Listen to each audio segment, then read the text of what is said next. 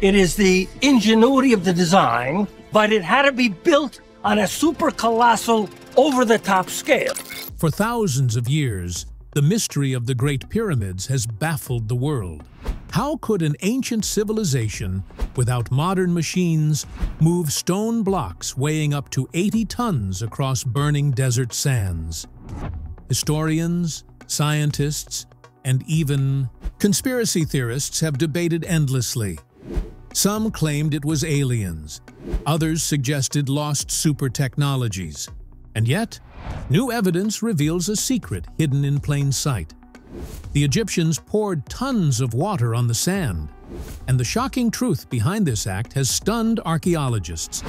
This is not just about how the pyramids were built, it's about how human intelligence triumphed over the impossible, using nothing more than nature itself.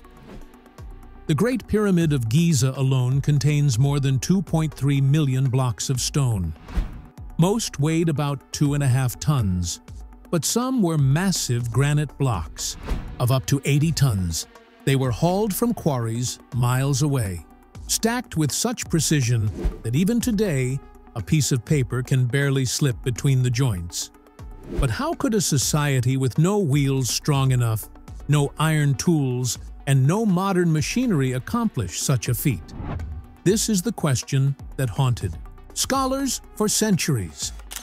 The first clues about this mystery actually come from ancient writings.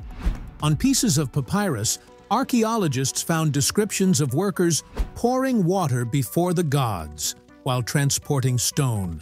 For a long time, historians thought this was only ritual language, something symbolic, a kind of prayer to please the gods during hard labor.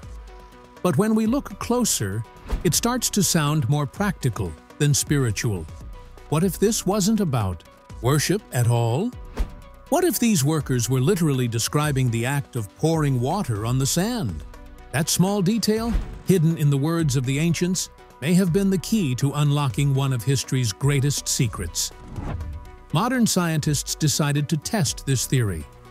In 2014, Dutch researchers recreated an Egyptian sled carrying heavy loads. On dry sand, the sled sank deeply, making it almost impossible to drag. But when workers poured water on the sand, the impossible became possible. Damp sand cut friction in half. Why? Because water formed tiny capillary bridges between grains, stiffening the sand and creating a firm surface. It was no longer a soft desert floor. It became as hard as a road. The Egyptians had discovered, centuries before modern physics, the perfect balance of water and sand. Not too wet, not too dry. The precise amount to turn desert into a natural highway. But there's still a question. Where did they get all this water? The answer lies in the Nile River, the very lifeblood of Egypt. Archaeologists have discovered evidence of ancient canals leading toward the Giza Plateau. Recent satellite scans revealed buried waterways and even a harbor at the foot of the pyramids. This means massive stones could sail most of the way on boats. Then, once unloaded, they were dragged over wet sand to the construction site. Imagine the scene. Long lines of workers, pouring jar after jar of Nile water ahead of teams dragging sleds. Thousands moving in rhythm. Stone sliding smoothly where dry sand would have swallowed it whole. This was not brute force. It was organized, scientific, and brilliant. But this clever technique of pouring water on sand wasn't just for the pyramids. It's very likely the Egyptians used the same method in many of their other great projects. Think of the giant obelisks, those tall stone pillars carved from single blocks of granite. Some weighed hundreds of tons and had to be dragged from quarries miles away. The wet sand trick would have made this possible, allowing sledges to slide smoothly instead of sinking. The same goes for huge statues of pharaohs, like those of Ramses II. Moving such massive stone figures would have been nearly impossible without reducing friction. Again, water on sand was the secret. Even temple construction at places like Karnak and Luxor probably relied on it. Ramps and sleds were used, but dampening the sand beneath them gave the workers a stable path. So in truth, this wasn't just a pyramid building technique, it was a method used across Egypt, helping them create temples, statues, and monuments that still amaze the world today. This discovery forces us to rethink the Egyptians. They were not primitive laborers straining endlessly under the sun. They were master engineers. They understood nature, friction, and hydraulics in ways that modern science only proved thousands of years later.